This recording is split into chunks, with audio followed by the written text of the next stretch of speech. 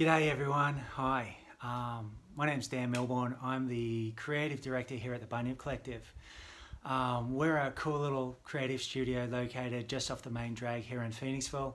Um, we specialise in branding, logos and graphic design, uh, website solutions and apparel design. Um,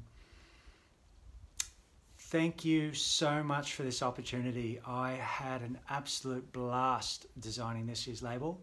Um, the theme is uh, a celebration of the little things, the little things in life that make up the person and the personality of those we love. And um, in this case, it's Makenna, isn't it? Um, um all the little things that made up her life, like chocolate cake and field hockey and um, horror movies, her little dog that was a, a true companion to her.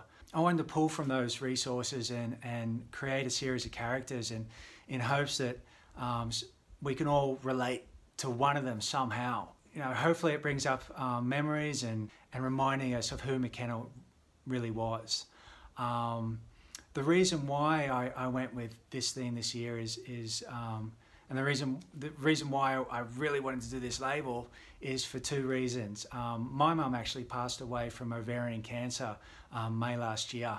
And um, from from that, I, I, really wanted to, to do something to, to give back and, and raise awareness. And when I was asked to do this year's label, I, I had to do it. I had to jump at it. Thanks again, guys. Um, I hope everyone uh, loves the design.